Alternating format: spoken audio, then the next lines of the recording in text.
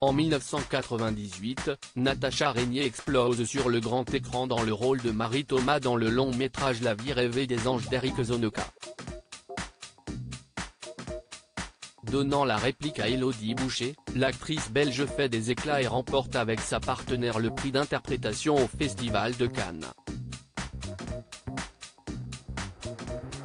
Un demi-siècle plus tard, la comédienne qui fête ses 49 ans ce 11 avril continue de répandre son talent et son charisme sur les écrans.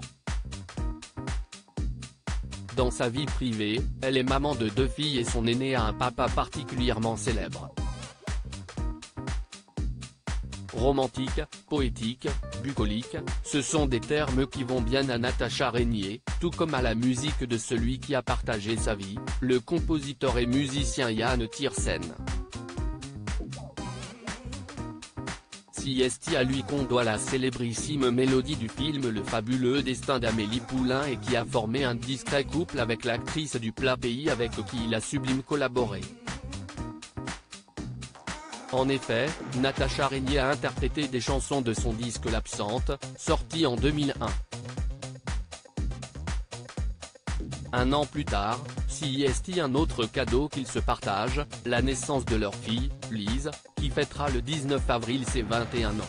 Sur Instagram, la comédienne avait dévoilé pour le 18e anniversaire de sa fille de magnifiques clichés avec son enfant alors toute jeune, pour fêter sa majorité.